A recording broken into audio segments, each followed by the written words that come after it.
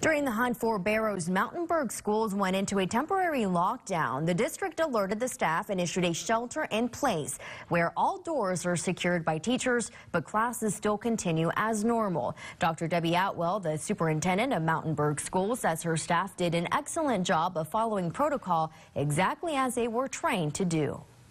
Thankfully, we got to test our system and no students were in danger. And uh, we'll continue to make safety a priority and continue to work on our processes. Dr. Atwell says during that lockdown, she visited the classrooms and was pleased to see each of her teachers engaging the students despite the manhunt continuing nearby.